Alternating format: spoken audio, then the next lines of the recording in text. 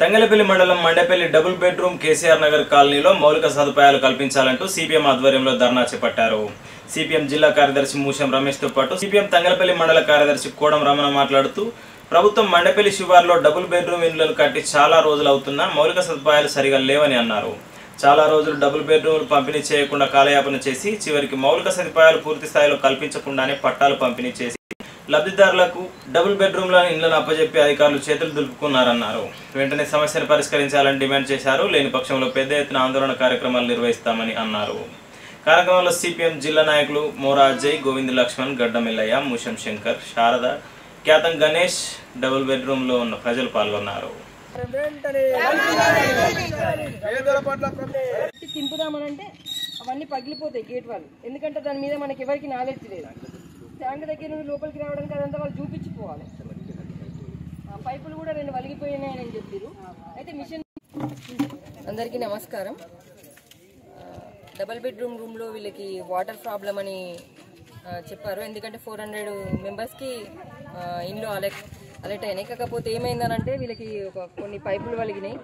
అది మిషన్ భగీరథ వాళ్ళకి మేము చెప్పడం జరిగింది. వాళ్ళు వచ్చి ఈ వన్ టూ డేస్లో క్లియర్ చేద్దామని కూడా వాళ్ళు చెప్పడం మాకు జరిగింది. అలాగే మేము వీళ్ళకి శానిటేషన్ గురించి కూడా మేము మా పైన డిపిఓ సార్ కానీ మండలిలో కానీ మేము అంటే వీళ్ళకి శానిటేషన్ ప్రాబ్లం అవుతుంది.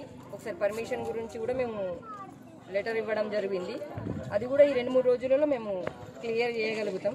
అలాగే అవసరమైతే వీళ్ళు మున్సిపాలిటీ నుండి వచ్చారు కాబట్టి ఒకసారి మన వాళ్ళతోటి కూడా మాట్లాడి వీళ్ళకి ఏ ప్రాబ్లం లేకుండా మేము ప్రయత్నం చేస్తాం. ఎందుకంటే వీళ్ళు మన మాకు మా విలేజ్కి దగ్గరలో మన మండపల్లిలో వచ్చారు కాబట్టి మా ఊరి కిందికి వస్తారు కాబట్టి మేము వీళ్ళ గురించి ఏ ప్రాబ్లం ఉన్నా చూసుకుంటామని పైకి దృష్టికి వెళ్తామని మేము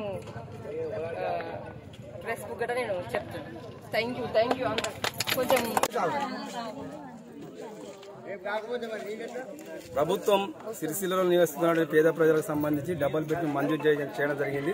మరి మొన్న ఒక ఆగస్టు పద- ఒకటో తారీఖు నాడు నాలుగు వందల మందికి పట్టాలు ఇచ్చి ఇక్కడ పంపించడం జరిగింది. కానీ ఇక్కడ పంపించడం కానీ ఇక్కడ ఉన్న సమస్య ఏంటంటే ప్రధానంగా ఇక్కడ ఈ ప్రజలకు తోలిచ్చి వాళ్ళ ఇండ్లు ఉంటున్నారు వాళ్ళకు ఉన్న సమస్య వాళ్ళకు నీటి సమస్య పరిష్కారం జరగలేదు నీటి నీళ్ళు రావడం లేదు. దాంతోపాటు శానిటేషన్ సమస్య కూడా ఉంది. అట్లాగే వీధి దీపాల సమస్య కూడా ఉంది. ఈ రకంగా తీవ్రంగా మౌలిక సమస్యల పట్ల ప్రజలు తీవ్రంగా ఇబ్బందులు గురి చేస్తారు ఈ రోజు నా- వచ్చిన వాళ్ళందరికీ పదిహేను రోజుల నీళ్ళు నీళ్ళు లేకపోవడం పై అంతస్తులకు వెళ్ళడం వల్ల వాళ్ళకి తీవ్ర ఇబ్బందులకు గురి అవ్వడం ఈ రకంగా అనేక ఇబ్బందులు అవుతా ఉన్నాయి. ఈ విషయం కూడా మేము గత వారం రోజుల సంది మేము అధికారుల దృష్టికి తీసుకుపోతా ఉన్నాం. అయినా కూడా వాళ్ళు స్పందించలేదు. మరి పేద ప్రజల పట్ల వాళ్ళని తీసుకొచ్చి ఊరవతల పడేసారు మరి పడేసిన వాళ్ళని వాళ్ళ అన్ని అన్ని రకాల కూడా వాళ్ళు ఆదుకోవాల్సిన బాధ్యత ఇక్కడ ఉన్న స్థానిక కలెక్టర్ మీద ఉంది. మరి అన్ని విషయాలు చీడ మొత్తం సమస్యలు పరిష్కరించి వాళ్ళందరినీ తోలించే విధంగా వాళ్ళు చూసుకోవాలి. ఇప్పటికే చాలా కాలం సంది డబుల్ బెడ్రూమ్ ఇస్తాం అక్కడ సమస్యలు అన్ని మౌలిక సదుపాయాలు సమ అన్ని సమ చేయడం జరిగింది. డబుల్ బెడ్రూమ్ ఇళ్ళకు సంబంధించి ఇక్కడ ప్రజలకు తాగునీటి సౌకర్యం అదేవిధంగా ఇతర మౌలిక సదుపాయాలు లేకపోవడం వల్ల అనేక ఇబ్బందులు ఎదుర్కొంటున్నారని చెప్పి ఈరోజు సిపిఎం పార్టీ ఆధ్వర్యంలో వారికి తాగునీటి సౌకర్యం కల్పించి ఇతర అన్ని సదుపాయాలు కల్పించాలనే డిమాండ్తో నీరు సిపిఎం పార్టీ ఆధ్వర్యంలో ఇక్కడ మేము ధర్నా కార్యక్రమం చేపట్టడం జరిగింది. మరి ప్రభుత్వం సిరిసిల్ల పట్టణంలో ఇల్లు లేని నిరుపేదలందరికీ ఇల్లు నిర్మించాలని చెప్పి ఉద్దేశంతో మరి మండపల్లి శివార్లో దాదాపు సిరిసిల్ల పట్టణానికి సంబంధించి పన్నెండు వందల ఇరవై ఇళ్ళను నిర్మించడం జరిగింది.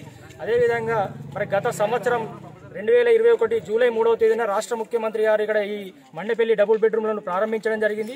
మరి సంవత్సరం గడిచినా కూడా అక్కడ లబ్ధిదారులను ఎంపిక చేయకుండా ఇక్కడ మరి కార్మి ఇక్కడ ప్రజలకు ఇల్లు అందించలేనటువంటి పరిస్థితి ఉంది. మొన్న సిపిఎం పార్టీ ఆధ్వర్యంలో సిరిసిల్లాలో మరి నిరుపేదలందరికీ వెంటనే ఇల్లు అందించాలని చెప్పి డిమాండ్ చేయడం జరిగింది. ఈ సందర్భంగా మరి ఆగస్టు ఒకటవ తేదీన నాలుగు వందల మంది మంది లబ్ధిదారులకు మరి పట్టాలను అందించి ఇక్కడికి మరి పంపించడం జరిగింది. కానీ ఇక్కడ తాగునీటి వసతి అదేవిధంగా ఇతర మౌలిక సదుపాయాలు లేకపోవడం వల్ల ఇక్కడ ప్రజలు వచ్చి మరి నివసించలేని పరిస్థితి ఉంది కాబట్టి వందల మంది ఇక్కడ నివాస పట్టాలు ఇచ్చినటువంటి పరిస్థితి ఉంది.